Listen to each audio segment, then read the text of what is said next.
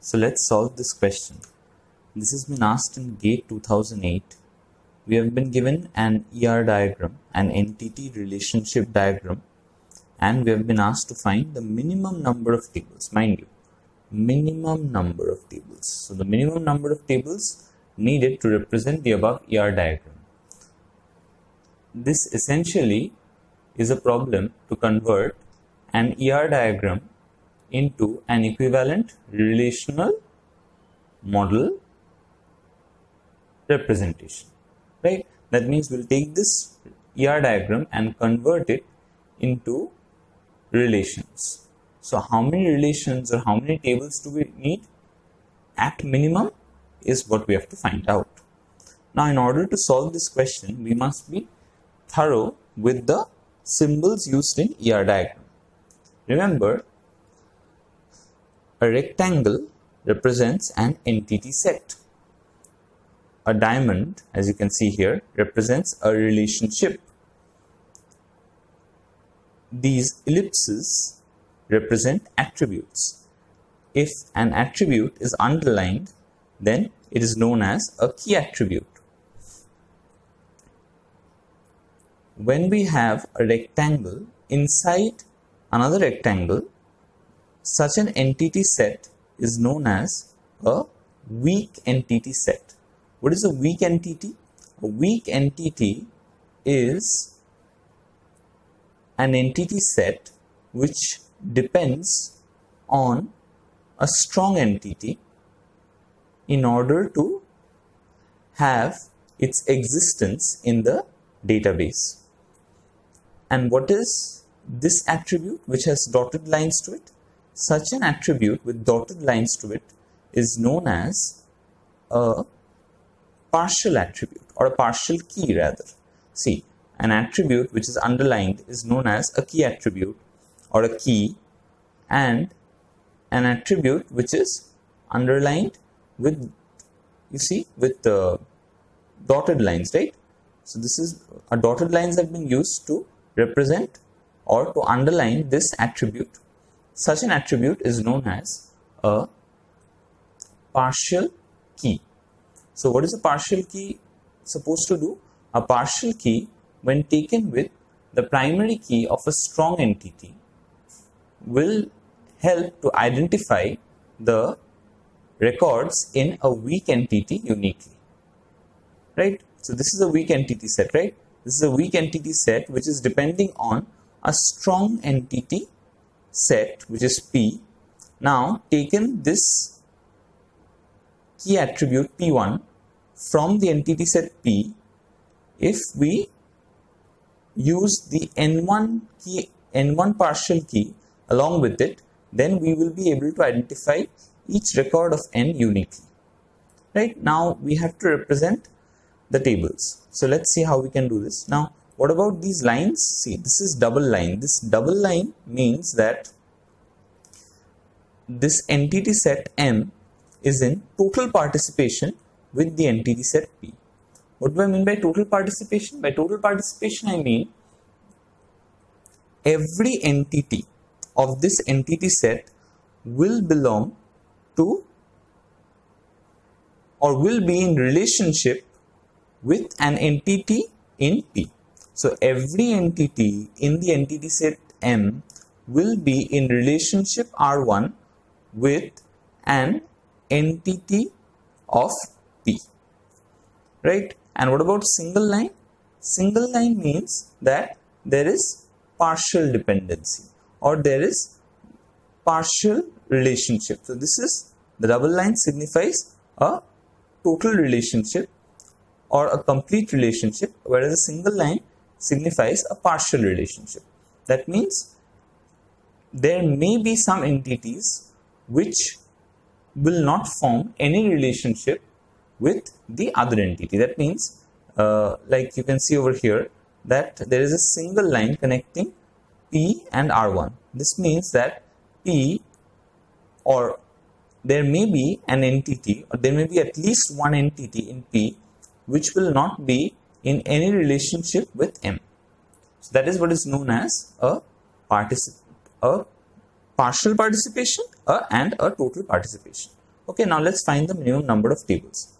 Now, in order to represent this M entity set, I need a table. So, in order to represent the entity set M, I need a table with the attributes M1, M2, and M3. In a sense, I am defining a schema by the name of M, right? And what about this P? I need another table in order to represent this entity set P and it will have two attributes to it. One is P1 which will be the key attribute or primary key and the other is P2. And what about this? This what about this weak entity set? How can we represent this weak entity set? Mind you, this weak entity set can be represented as a table, but there are some constraints. The constraint is that it will have its attribute that is n2 and it will also have n1 which is the partial key along with it it will contain the primary key of the of the entity set on which it is depending on. Like n has an identifying relationship with p and the key attribute of p is p1 so n will include this attribute the key attribute from p into its schema. Because only with the help of this key attribute and this partial key n1 taken together we will be able to identify every record of n uniquely. Otherwise, we will not be able at all times identify each tuple of n distinctively, right?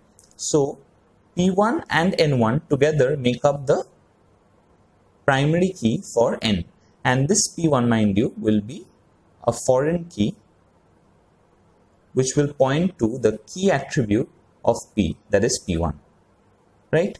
Now the entities or the entity sets rather M, P and N have been taken care of. What about the relationships? What about R1 and R2 now remember in order to take care of this relationship R1 we can simply use the foreign key constraint. So I'll make a slight modification here what will be that modification?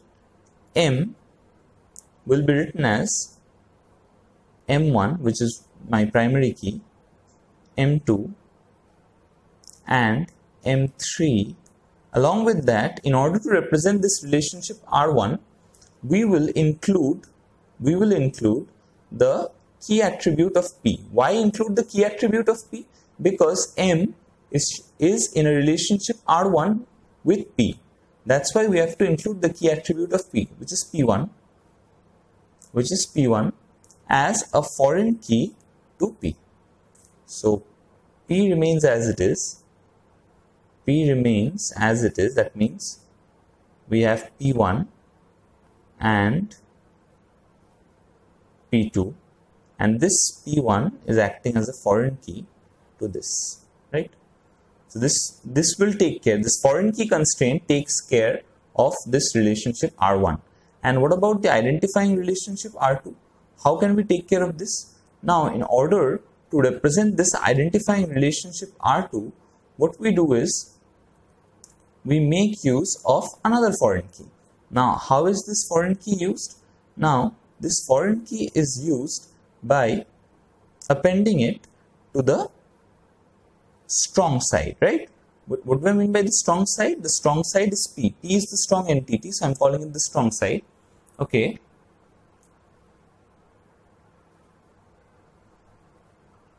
So this is my strong side and this is my weak side. Now, P is the strong entity or the owning entity. Why is it called the owning entity? It is called the owning entity because N depends on P for its existence. So taken the key of P, like here we have taken the key of the entity set P, which is P1, and added it to the weak entity set. And the partial key together with the key attribute from P will make up the primary key for n. So given a key or given a key value of p, we can uniquely identify every record of the relation n. And mind you, this foreign key which we have added, this foreign key that is p1 which we have added to n not only contributes to the primary key of n but also this foreign key will take care of the identifying relationship. So this identifying relationship is taken care of this foreign key. This identifying relationship is taken care of by this foreign key, right? So this is how we convert an ER diagram into a relational model where we have, in this case, three relational schemas, right? So I hope this helps. Thank you.